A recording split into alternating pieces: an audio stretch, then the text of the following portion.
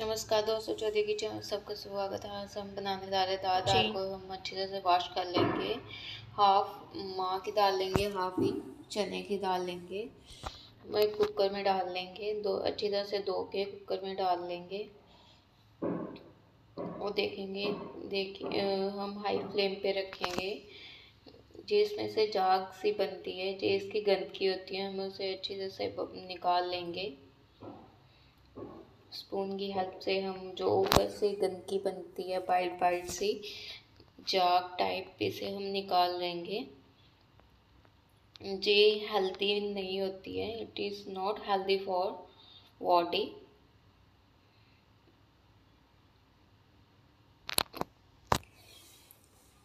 इससे जोड़ों वगैरह में जो दर्द होता है, दर्द की समस्या होती है, इसकी वजह से भी थोड़ी थोड़ी होती है। इसलिए हम इसे नहीं रहने देंगे, अच्छी तरह से हम सारी निकाल लेंगे। इस टाइम पे हम कुकर को हाई फ्लेम पे रखेंगे।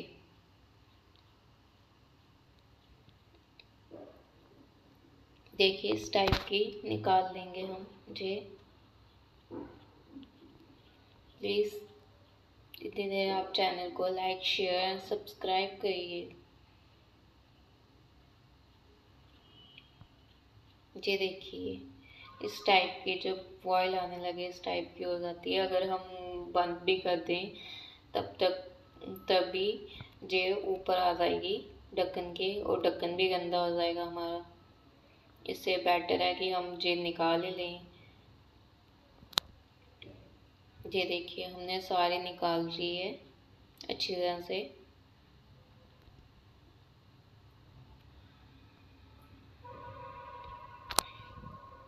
हमने सारी निकल गई है हमारी। ये देखिए कितनी सारी है।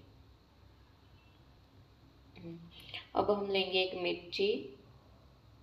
मिर्ची, एक लौंग, दालचीनी और एक इलायची। और हम उसे डाल देंगे कुकर में और कुकर को हम बंद कर देंगे और हम सिक्स स्पून नमक ले लेंगे। वो भी डाल देंगे कुकर में एक हल्दी, एक स्पून दो भी डाल देंगे, एक स्पून मिर्ची।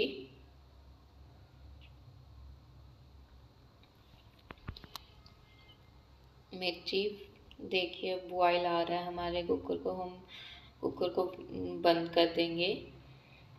और हम दाल को हमेशा लो फ्लेम पे पकाना चाहिए हमें, हाई फ्लेम पे। दाल कभी भी अच्छी नहीं बनेगी, इसलिए प्लीज़ आप लो फ्लेम पे दाल को पकाएँ।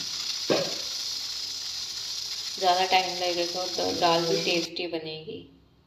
और हम अब तड़का तैयार कर लेते हैं। इस हमने एक ऑयल ले लिया पैन में।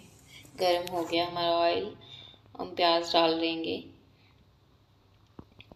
प्याज हम, प्याज डाल लिया हमने। हम प्याज को इतनी देर तक पकाएँगे जितनी देर देर तक जे सारा प्याज जल ना जाए। ऐसे सारा ही ब्राउन हो जाए। ये देखिए थोड़ा थोड़ा हो रहा है।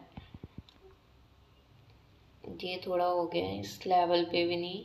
जब ज़्यादा ब्राउन हो जाएगा, ये देखिए थोड़ा थोड़ा हो गया और और ट्रांसलूसेंट प्लीज़ इतनी देर आप चैनल को लाइक शेयर सब्सक्राइब कर लीजिए। और वीडियो कैसी लगे, ये भी कमेंट में बताइए हमें। ये देखिए इस टाइप पे हम लेके आएँगे प्याज को। और हम इसमें कुछ नहीं डालेंगे, सिर्फ़ हमें प्याज ही डालना है और प्याज को भी अच्छी तरह से ब्राउन होने तक पकाना है। फिर हम इसमें अभी हम दाल डालेंगे। दाल हमारी रेडी है। बन गई अच्छी तरह से, आप देख लीजिए। दाल बन जाए, अच्छी तरह से मिक्स हो जाए तो ही आप उसे फ्लेम को बंद कीजिए।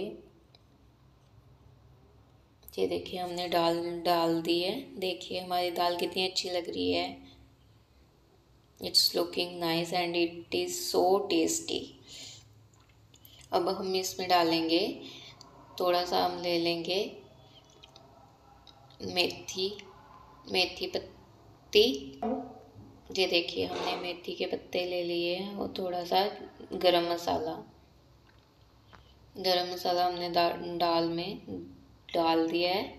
अब देखिए इसकी स्मेल कितनी अच्छी महक आती है। अमेजिंग। बहुत अच्छी लगेगी आपको दाल। प्लीज़ इस टाइप बना के देखिए आप।